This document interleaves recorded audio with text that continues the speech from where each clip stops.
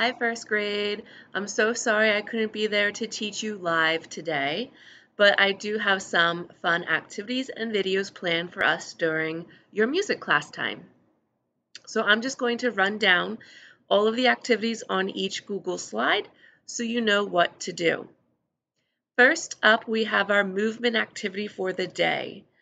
I would love to see everyone out of their seats following along to the video and all of the directions in the video. On your next slide, it looks like a blank video, but if you play it, you will see a video of me describing the instruments and the characters in Peter and the Wolf. The slide after that is the same video I was showing in my video, but in this video you are able to hear the different instruments and what they sound like in Peter and the Wolf.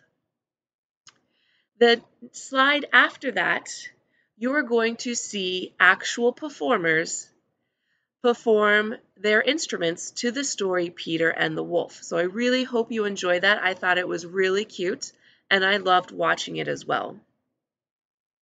Our next slide is we will be singing our song, We Are Playing in the Forest Together. If you remember last week, we did learn this song, so I would like you to do your best to sing along with me each time in the video. And last but not least, we have a new song for today called Fuzzy Wuzzy. I would like you to play the video if there is time left in your music class and listen to the words and try to start singing along with me in the video. Remember, you can play those videos as many times as you would like to learn our song. After we get through our slides, or as long as uh, we have time to get to everything, at the end of your music class time, please make sure you go back into your Google Classroom and hit turn in on this assignment. If you do not hit turn in, it's going to look to me like you were absent for the day.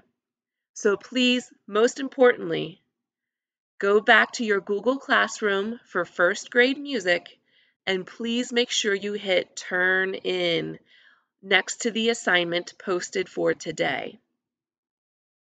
All right, first grade, again, I'm so sorry I couldn't be there to teach you live, but I will be back next week. I look forward to hearing how everyone enjoyed our activities for today. Bye.